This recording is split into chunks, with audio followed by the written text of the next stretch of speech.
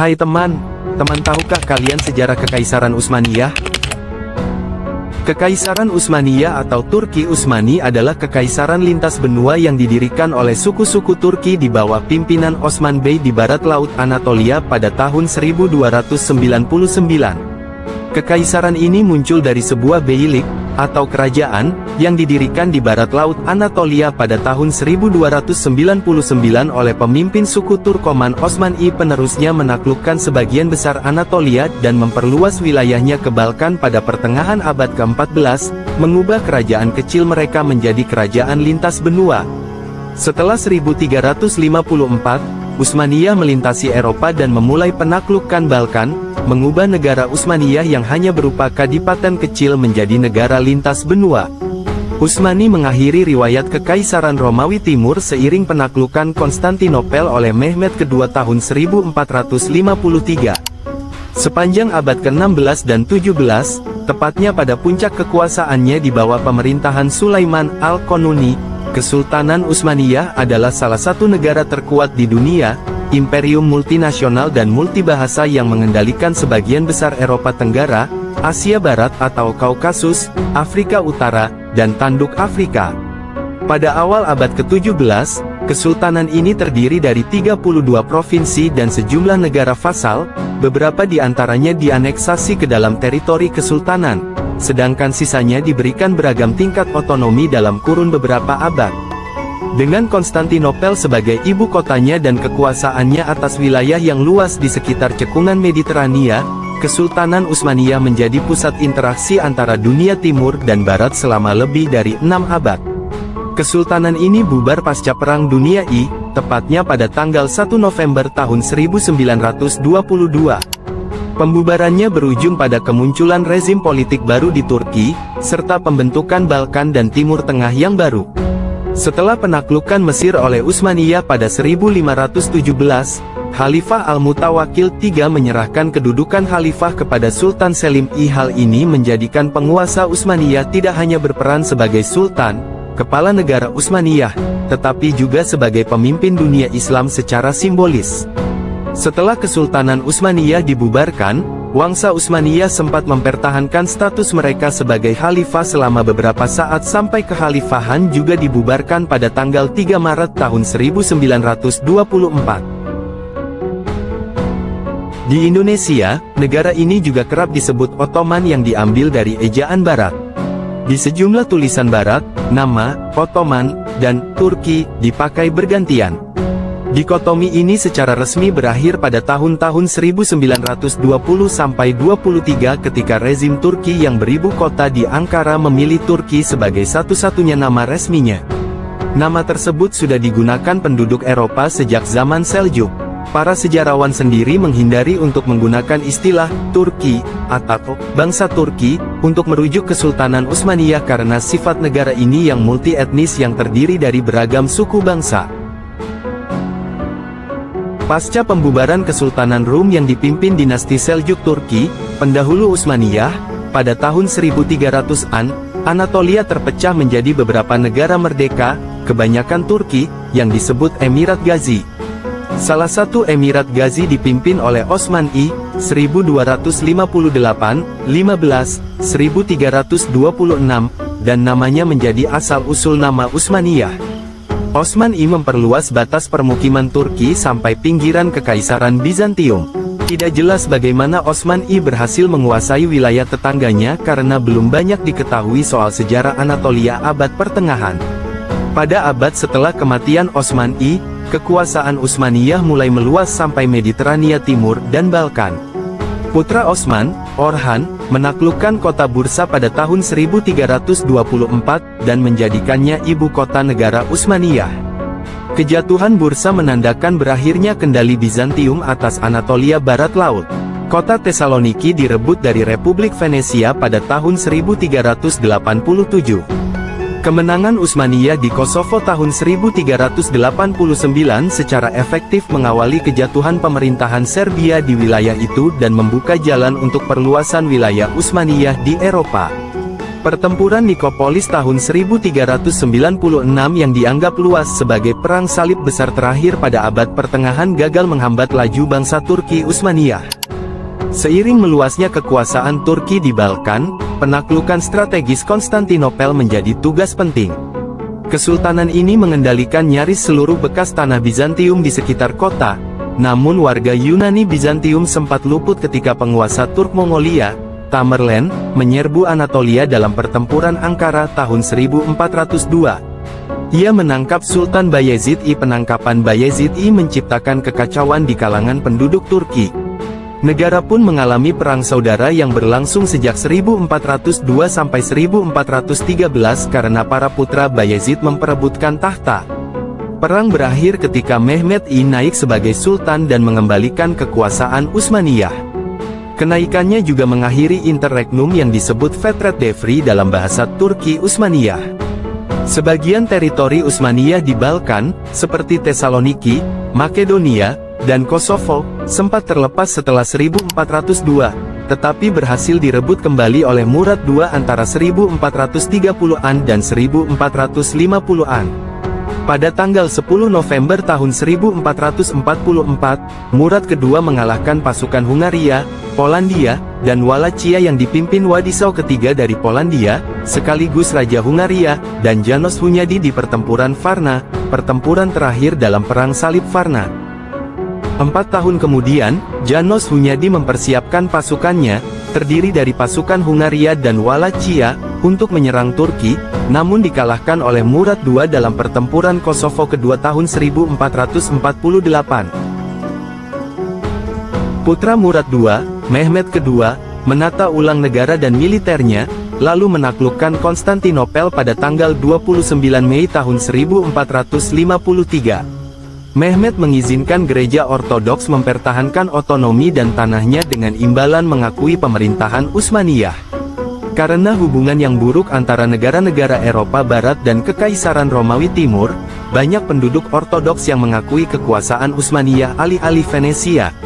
Pada abad ke-15 dan 16, Kesultanan Utsmaniyah memasuki periode ekspansi.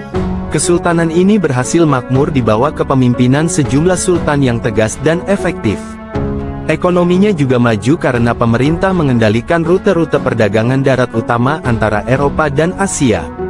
Sultan Selim pertama, tahun 1512 sampai tahun 1520, memperluas batas timur dan selatan Kesultanan Utsmaniyah secara dramatis dengan mengalahkan Shah Ismail dari Persia Safawiyah dalam pertempuran Chaldiran. Selim I mendirikan pemerintahan Utsmaniyah di Mesir dan mengerahkan angkatan lautnya ke Laut Merah. Setelah ekspansi tersebut, persaingan pun pecah antara Kekaisaran Portugal dan Kesultanan Utsmaniyah yang sama-sama berusaha menjadi kekuatan besar di kawasan itu. Sulaiman Agung, tahun 1520 sampai tahun 1566, mencaplok Beograd tahun 1521, menguasai wilayah selatan dan tengah kerajaan Hungaria sebagai bagian dari peperangan Utsmaniyah Hungaria. Setelah memenangkan pertempuran Mohacs tahun 1526, ia mendirikan pemerintahan Turki di wilayah yang sekarang disebut Hungaria, kecuali bagian baratnya, dan teritori Eropa Tengah lainnya, mempertahankan otonomi dan tanahnya dengan imbalan mengakui pemerintahan Utsmaniyah. Karena hubungan yang buruk antara negara-negara Eropa Barat dan Kekaisaran Romawi Timur, banyak penduduk ortodoks yang mengakui kekuasaan Utsmaniyah alih-alih Venesia, pada abad ke-15 dan 16, Kesultanan Utsmaniyah memasuki periode ekspansi. Kesultanan ini berhasil makmur di bawah kepemimpinan sejumlah sultan yang tegas dan efektif. Ekonominya juga maju karena pemerintah mengendalikan rute-rute perdagangan darat utama antara Eropa dan Asia. Sultan Selim pertama, tahun 1512 sampai tahun 1520, memperluas batas timur dan selatan Kesultanan Utsmaniyah secara dramatis dengan mengalahkan Shah Ismail dari Persia Safawiyah dalam pertempuran Chaldiran. Selim I mendirikan pemerintahan Utsmaniyah di Mesir dan mengerahkan angkatan lautnya ke Laut Merah. Setelah ekspansi tersebut, persaingan pun pecah antara Kekaisaran Portugal dan Kesultanan Utsmaniyah yang sama-sama berusaha menjadi kekuatan besar di kawasan itu. Sulaiman Agung, tahun 1520 sampai tahun 1566, mencaplok Beograd tahun 1521, menguasai wilayah selatan dan tengah kerajaan Hungaria sebagai bagian dari peperangan Utsmaniyah-Hungaria.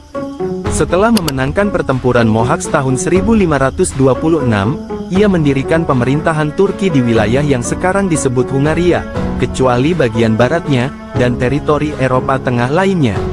Ia kemudian mengepung Wina tahun 1529, tetapi gagal. Tahun 1532, ia melancarkan serangan lain ke Wina, namun dikalahkan pada pengepungan Gans. Transilvania, Wallachia, dan Moldavia, sementara, menjadi kepangeranan bawahan Kesultanan Utsmaniyah.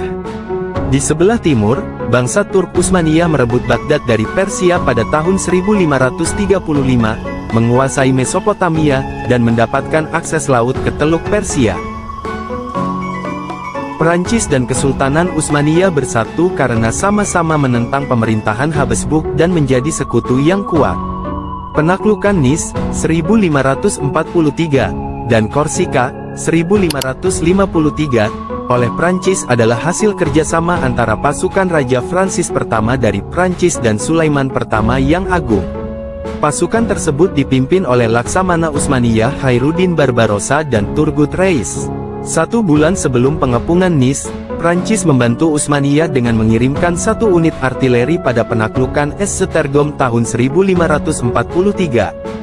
Setelah bangsa Turk membuat serangkaian kemajuan tahun 1543, penguasa Habsburg Ferdinand pertama secara resmi mengakui pemerintahan Utsmaniyah di Hungaria pada tahun 1547. Pada tahun 1559, setelah Perang Ajuraan Portugal pertama, Kesultanan Utsmaniyah menganeksasi Kesultanan Adal yang lemah ke dalam wilayahnya. Ekspansi ini mengawali pemerintahan Utsmaniyah di Somalia dan Tanduk Afrika. Aneksasi tersebut juga meningkatkan pengaruh Utsmaniyah di Samudra Hindia untuk bersaing dengan Portugal. Pada akhir masa kekuasaan Sulaiman, jumlah penduduk Kesultanan Utsmaniyah mencapai 15 juta orang dan tersebar di tiga benua. Selain itu, Kesultanan ini menjadi kekuatan laut besar yang mengendalikan sebagian besar Laut Mediterania. Saat itu, Kesultanan Utsmaniyah adalah bagian utama dari lingkup politik Eropa. Kesuksesan politik dan militernya sering disamakan dengan Kekaisaran Romawi, salah satunya oleh cendikiawan Italia Francesco Sansovino dan filsuf politik Prancis Jean Bodin. Struktur militer dan birokrasi yang efektif pada abad sebelumnya terancam gagal ketika sultan-sultan selanjutnya tidak tegas memimpin. Kesultanan Utsmaniyah perlahan dikalahkan bangsa Eropa dari segi teknologi militer karena inovasi yang mendorong perluasan kesultanan ini dihambat oleh paham konservatisme agama dan intelektual yang terus berkembang. Meski mengalami kesulitan, kesultanan ini tetap menjadi kekuatan ekspansionis besar sampai pertempuran Wina tahun 1683 yang menandakan akhir ekspansi Utsmaniyah ke Eropa. Penemuan rute dagang laut baru oleh negara-negara Eropa Barat memungkinkan mereka menghindari monopoli dagang Utsmaniyah. Penemuan Tanjung Harapan baik oleh Portugal tahun 1488 merintis serangkaian perang laut Utsmaniyah Portugal di Samudra Hindia sepanjang abad ke-16. Dari segi ekonomi, pemasukan perak Spanyol dari dunia baru mengakibatkan mata uang Utsmaniyah mengalami devaluasi tajam dan inflasi tinggi. Di bawah kepemimpinan Ivan keempat, tahun 1533 sampai tahun 1584, Kekaisaran Rusia meluas sampai kawasan Volga dan Kaspia dengan menaklukkan beberapa kehanan Tatar. Pada tahun 1571, Han Crimea Devlet Igirai yang didukung Utsmaniyah membakar Moskwa. Tahun berikutnya, invasi diulang namun digagalkan pada pertempuran Molodi. Kehanan Crimea terus menyerbu Eropa Timur melalui serangkaian serangan budak dan menjadi kekuatan besar di Eropa Timur sampai akhir abad ke-17. Di Eropa Selatan, koalisi Katolik yang dipimpin Philip II dari Spanyol mengalahkan armada Utsmaniyah di pertempuran Lepanto. Ini merupakan pukulan telak dan simbolis terhadap citra kehebatan Utsmaniyah. Memudarnya citra ini diawali oleh kemenangan Ksatria Malta atas pasukan Utsmaniyah dalam pengepungan Malta tahun 1565. Pertempuran Lepanto membuat Angkatan Laut Utsmaniyah kehilangan banyak tenaga ahlinya, sedangkan kapal-kapalnya masih bisa diperbaiki. Angkatan Laut Utsmaniyah pulih dengan cepat dan memaksa Venesia menandatangani perjanjian damai tahun 1573 yang mengizinkan Kesultanan Utsmaniyah memperluas dan memperkuat posisinya di Afrika Utara. Sebaliknya, wilayah Habsburg tidak berubah setelah pertahanan Habsburg diperkuat. Perang panjang melawan Austria Habsburg, tahun 1593 sampai tahun 1606, membuat pemerintah melengkapi infanterinya dengan senjata api dan melonggarkan kebijakan perekrutan. Keputusan ini menciptakan masalah ketidakpatuhan dan pemberontakan di dalam tubuh militer yang tidak pernah terselesaikan. Penembak jitu irreguler, sekban, juga direkrut.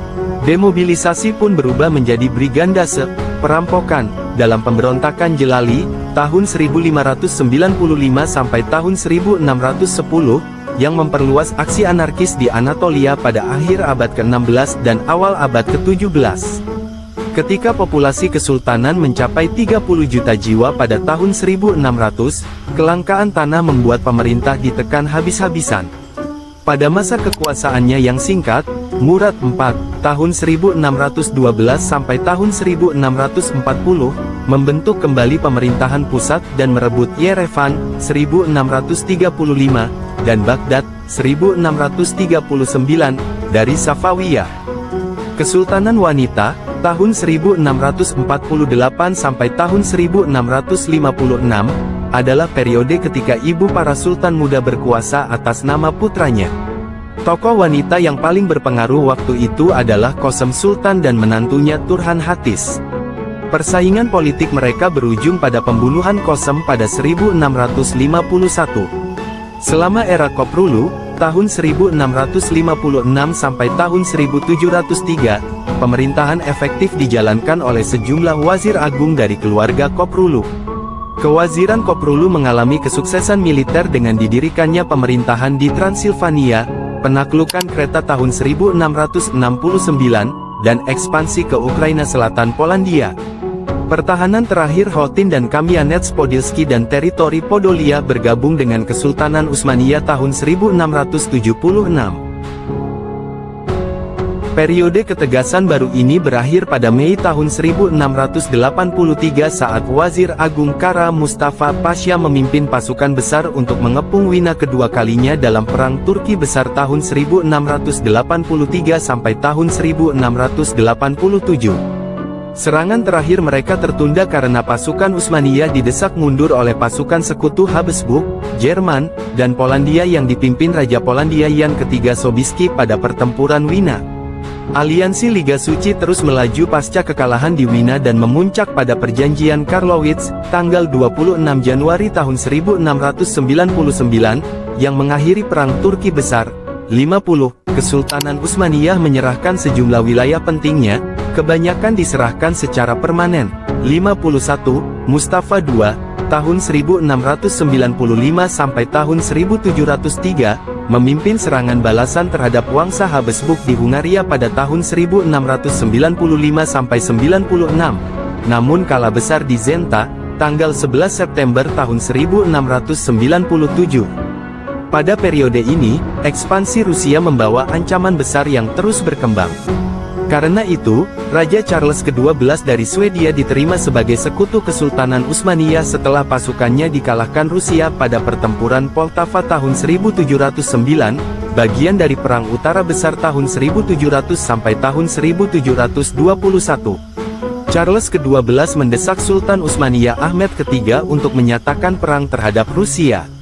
Usmania berhasil memenangkan kampanye Sungai Prut yang berlangsung pada tahun 1710 sampai tahun 1711. Pasca Perang Austria-Turki tahun 1716 sampai tahun 1718, Perjanjian Passarowitz mencantumkan penyerahan wilayah Banat, Serbia, dan Wallachia kecil, Oltenia, ke Austria. Perjanjian ini juga menyebutkan bahwa Kesultanan Utsmaniyah mengambil sikap defensif dan tidak mungkin melakukan agresi lagi di Eropa. Perang Austria-Rusia-Turki yang diakhiri oleh Perjanjian Beograd 1739 berujung pada kembalinya Serbia dan Oltenia, namun pelabuhan Azov berhasil direbut Rusia. Setelah perjanjian ini, Kesultanan Utsmaniyah menikmati masa perdamaian karena Austria dan Rusia terpaksa menghadapi kebangkitan Prusia. Sejumlah reformasi pendidikan dan teknologi dilaksanakan, termasuk pendirian institusi pendidikan tinggi seperti Universitas Teknik Istanbul.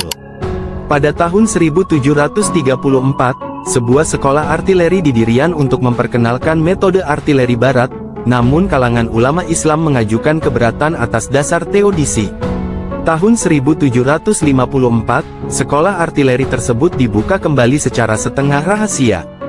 Tahun 1726, Ibrahim Muteferika meyakinkan Wazir Agung Damat Ibrahim Pasha, Mufti Agung, dan para ulama tentang efisiensi percetakan.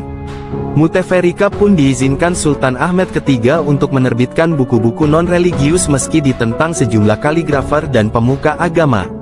Percetakan Muteferika menerbitkan buku pertamanya pada tahun 1729. Pada 1743, jumlah karya yang dicetaknya mencapai 17 buah dalam 23 volume dan masing-masing karya dicetak sebanyak 500 sampai 1000 eksemplar. Pada 1768, para Haidamak, pemberontak konfederasi Polandia yang dibantu Rusia, memasuki Balta, kota Usmaniyah di perbatasan Besarabia, dan membantai warganya dan membumi hanguskan kota tersebut. Tindakan ini memaksa Kesultanan Utsmaniyah memulai Perang Rusia-Turki tahun 1768 sampai tahun 1774. Perjanjian Kucuk Kainarka tahun 1774 mengakhiri perang ini dan memberikan kebebasan beribadah bagi warga Kristen di Provinsi Wallachia dan Moldavia. Pada akhir abad ke-18, serangkaian kekalahan perang melawan Rusia membuat beberapa kalangan di Kesultanan Utsmaniyah yakin bahwa reformasi yang dijalankan Peter Agung memberi keunggulan bagi Rusia, dan Utsmaniyah harus menggunakan teknologi barat untuk menghindari kekalahan lebih lanjut. Selim III, tahun 1789 sampai tahun 1807, melakukan upaya besar pertama dalam memodernisasi pasukannya, tetapi reformasi ini terhambat oleh kepemimpinan yang religius dan korps Yanisari. Karena iri dengan hak-hak militer dan menolak perubahan, Yanisari pun merintis pemberontakan. Semua upaya Selim membuat dirinya kehilangan tahta dan nyawanya. Akan tetapi, pemberontakan ini berhasil diredam dengan spektakuler dan kejam oleh penggantinya yang dinamis, Mahmud II. Ia menghapus korps Yanisari pada tahun 1826. Revolusi Serbia, tahun 1804 sampai tahun 1815, menjadi awal era kebangkitan nasional di kawasan Balkan pada masa pertanyaan timur. Suzeraintas Serbia sebagai monarki herediter dengan dinastinya sendiri diakui secara de jure pada tahun 1830. Pada 1821, bangsa Yunani menyatakan perang terhadap Sultan. Pemberontakan yang pecah di Moldavia sebagai bentuk pengalihan diikuti oleh revolusi utama di Peloponnesos. Peloponnesos dan bagian utara Teluk Korintus menjadi wilayah Kesultanan Utsmaniyah pertama yang merdeka, tepatnya pada tahun 1829. Pada pertengahan abad ke-19, Kesultanan Utsmaniyah dijuluki orang sakit oleh bangsa Eropa. Negara-negara suzerain, Kepangeranan Serbia, Wallachia, Moldavia, dan Montenegro, meraih kemerdekaan de jure pada 1860-an dan 1870-an. Pada masa Tanzimat, tahun 1839 sampai tahun 1876, serangkaian reformasi konstitusional pemerintah membuahkan hasil, yaitu pasukan wajib militer modern, reformasi sistem perbankan, dekriminalisasi kaum homoseksual, perubahan hukum agama menjadi hukum sekuler, dan Gilda yang memiliki pabrik modern. Kementerian Pos Usmaniyah dibentuk di Istanbul pada tanggal 23 Oktober tahun 1840. Samuel Morse menerima paten telegraf pertamanya tahun 1847. Paten tersebut dikeluarkan oleh Sultan Abdul Mejid pertama yang secara langsung menguji penemuan baru itu. Setelah uji coba berhasil, jalur kabel telegraf pertama di dunia, Istanbul Adrianopel Sumnu, mulai dipasang pada tanggal 9 Agustus tahun 1847. Periode reformis ini memuncak dengan penyusunan konstitusi yang disebut Kanun Uesasi. Era konstitusional pertama Kesultanan ini tidak berlangsung lama. Parlemennya hanya bertahan selama dua tahun sebelum dibubarkan Sultan. Dikarenakan tingkat pendidikannya yang lebih tinggi, penduduk Kristen di kesultanan ini mulai unggul ketimbang penduduk muslim yang mayoritas, sehingga penduduk muslim merasa tidak puas.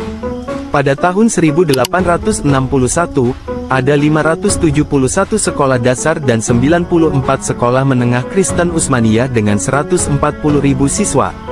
Jumlah itu jauh melampaui siswa muslim di sekolah pada saat yang sama. Kemajuan siswa muslim terus melambat dikarenakan lamanya waktu mata pelajaran bahasa Arab dan teologi Islam.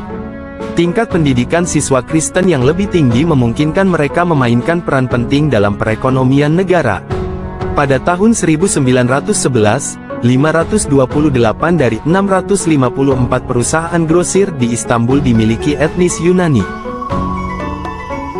Perang Crimea, tahun 1853 sampai tahun 1856, adalah bagian dari persaingan panjang antara kekuatan-kekuatan besar Eropa yang memperebutkan pengaruh di teritori Kesultanan Utsmaniyah yang melemah.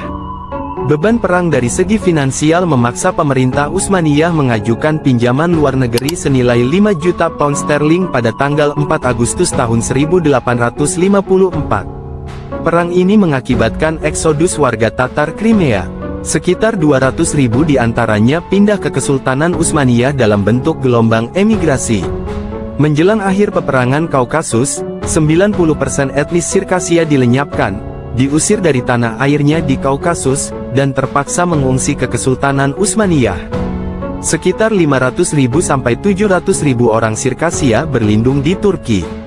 Beberapa sumber memberi angka yang lebih tinggi, yaitu 1 juta minus 1,5 juta orang dideportasi dan, atau dibunuh. Perang Rusia-Turki, tahun 1877 sampai tahun 1878, berakhir dengan kemenangan mutlak bagi Rusia. Akibatnya, wilayah Utsmaniyah di Eropa menyusut dengan cepat. Bulgaria didirikan sebagai kepangeranan merdeka di dalam Kesultanan Utsmaniyah, Rumania mendapat kemerdekaan penuh. Serbia dan Montenegro mendapat kemerdekaan penuh dengan wilayah yang lebih kecil. Pada tahun 1878, Austria-Hungaria bersama-sama menduduki provinsi Bosnia-Herzegovina dan Novi Pazar. Walaupun pemerintah Utsmaniyah menentang tindakan ini, pasukannya dikalahkan dalam kurun tiga minggu.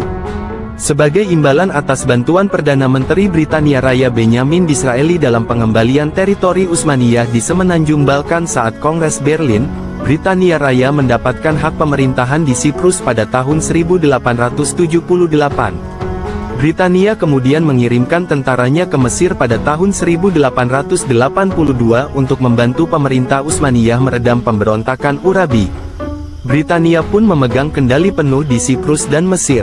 Pada tahun 1894 sampai 96, sekitar 100.000 sampai 300.000 etnis Armenia yang tinggal di seluruh kesultanan dibunuh dalam sebuah peristiwa yang disebut pembantaian Hamidian.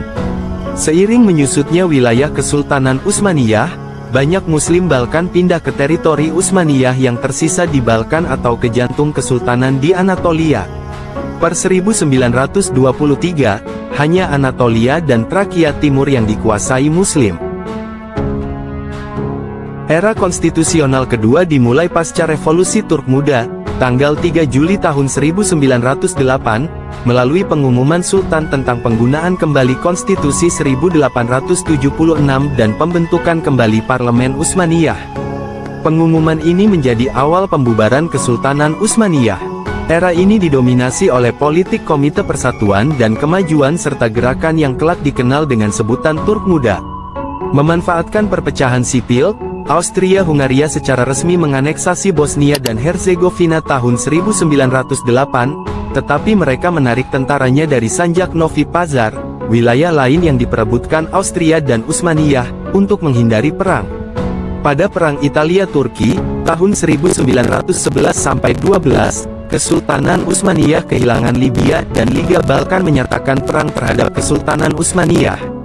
Utsmaniyah kalah dalam peperangan Balkan tahun 1912-13 dan kehilangan teritori Balkannya kecuali Trakia Timur dan ibu kota historis Adrianopel.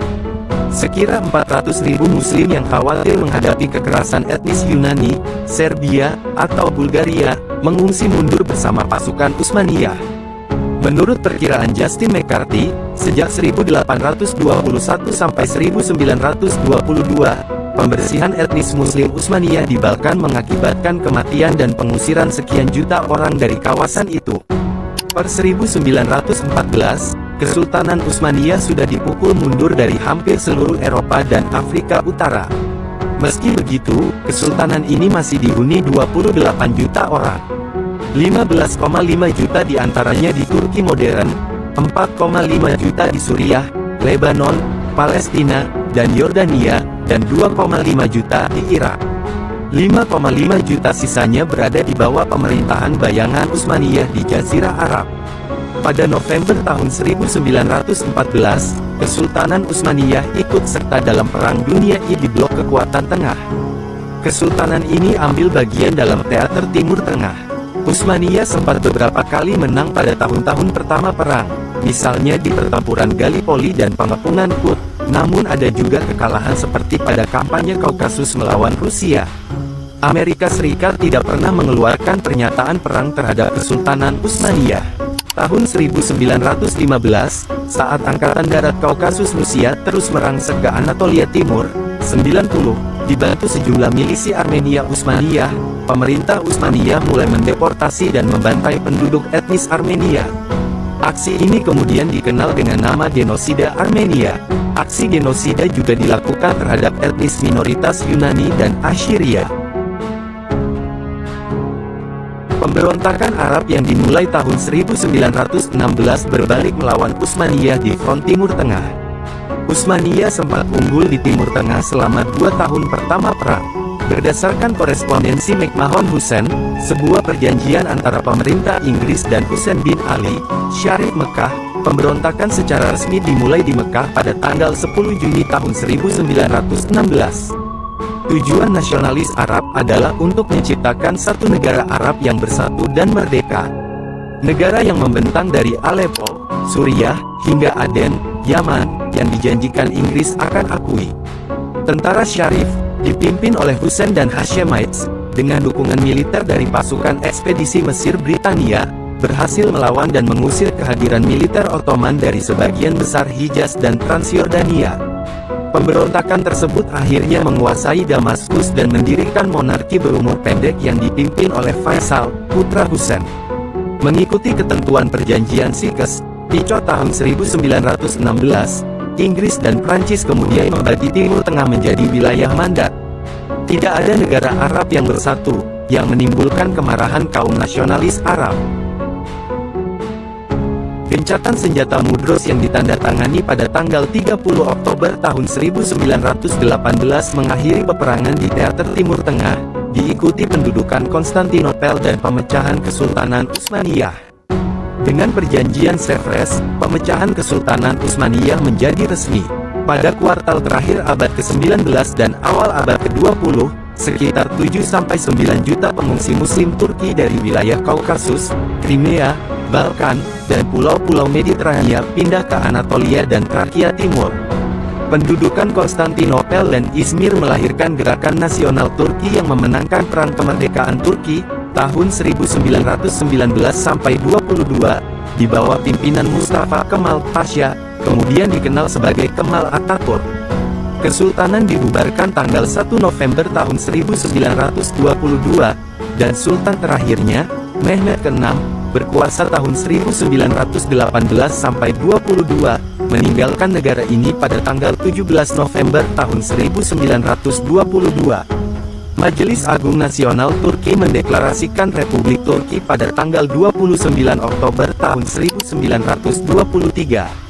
Kekhalifahan dibubarkan tanggal 3 Maret tahun 1924. Tata negara Kesultanan Utsmaniyah adalah sistem yang sangat sederhana dan terbagi menjadi dua dimensi utama, pemerintahan militer dan pemerintahan sipil. Sultan adalah jabatan tertinggi dalam sistem ini. Sistem sipil dibuat berdasarkan unit-unit pemerintahan daerah yang didasarkan pada karakteristik wilayahnya.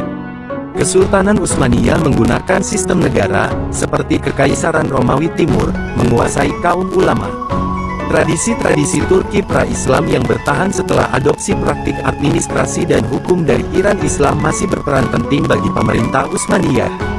Menurut pemahaman Utsmaniyah, tugas utama negara adalah mempertahankan dan memperluas tanah muslim dan menjamin keamanan dan keselarasan di dalam perbatasannya sesuai konteks praktik Islam ortodoks dan kedaulatan dinasti.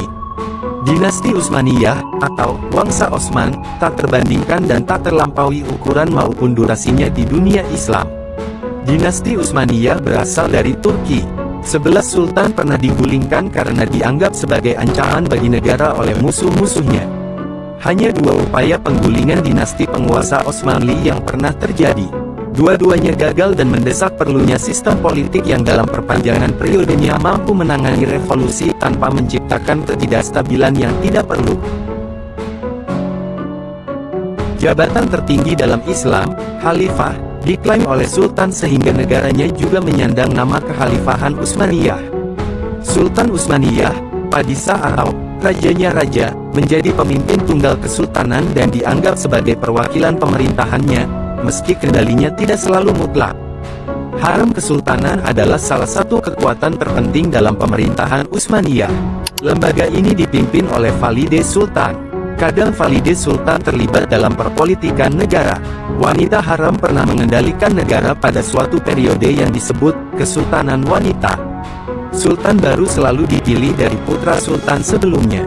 Sistem pendidikan sekolah istana yang kuat diarahkan untuk mengeliminasi calon pewaris yang tidak cocok dan menggalang dukungan elit penguasa terhadap seorang pewaris. Sekolah istana yang juga mendidik calon pejabat negara tidak bersifat jalur tunggal. Jalur pertama, Madrasah, Turki Ottoman, Medrese, dirancang untuk umat Islam dan mendidik cendikiawan dan pejabat negara sesuai tradisi Islam. Beban keuangan medrese ditanggung oleh fakif, sehingga anak-anak keluarga miskin bisa menaikkan status sosial dan pendapatannya.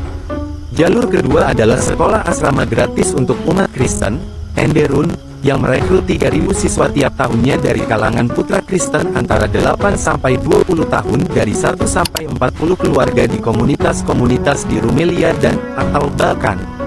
Proses ini disebut Devshirme, Devshirme, Meski Sultan adalah monark tertinggi, kewenangan politik dan eksekutif Sultan didelegasikan ke orang lain. Politik negara melibatkan sejumlah penasihat dan menteri yang membentuk dewan bernama Divan, setelah abad ke-17 namanya berubah menjadi Porte. Divan, ketika negara Utsmaniyah masih berupa beylik, terdiri dari para tetua suku. Komposisinya kemudian diubah agar melibatkan pejabat militer dan elit lokal, seperti penasihat keagamaan dan politik. Sejak awal 1320, seorang wazir agung ditunjuk untuk melanjutkan tugas-tugas tertentu sultan. Wazir agung terbebas dari sultan dan memegang kuasa penunjukan, pemecatan, dan pengawasan yang nyaris tidak terbatas. Mulai akhir abad ke-16, sultan menarik diri dari politik dan wazir agung menjadi kepala negara de facto. Sepanjang sejarah Utsmaniyah, ada banyak kejadian ketika gubernur lokal mengambil tindakan secara independen sekalipun bertentangan dengan penguasa. Pasca revolusi Turk Muda tahun 1908, negara Utsmaniyah menjadi monarki konstitusional. Sultan tidak lagi memegang kekuasaan eksekutif. Parlemen dibentuk yang perwakilannya dipilih dari provinsi-provinsi negara. Para wakil kemudian membentuk pemerintahan Imperium Kesultanan Utsmaniyah. Pemerintahan yang eklektik tampak jelas dalam surat-surat diplomatik kesultanan. Surat tersebut biasanya dikirim ke barat dalam bahasa Yunani. Tugra adalah monogram kaligrafi atau tanda tangan para Sultan Utsmaniyah yang jumlahnya 35 orang. Dipahat di lambang Sultan, Tugra mengandung nama Sultan dan ayahnya. Pernyataan dan doa, kemenangan abadi, juga dipahat di kebanyakan lambang. Tugra pertama dimiliki oleh Orhan Ghazi. Tugra bergaya hiasan ini kelak merintis cabang kaligrafi Utsmaniyah Turki.